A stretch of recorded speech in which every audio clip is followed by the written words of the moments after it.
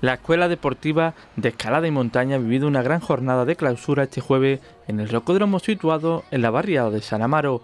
Los pequeños se han reunido en este recinto y han disfrutado de una bonita jornada a pesar de las altas temperaturas.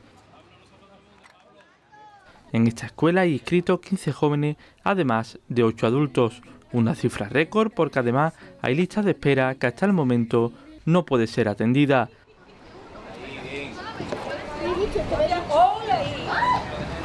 Venga, muy bien, Ángela. Ahora lo pilla, ahora se queda.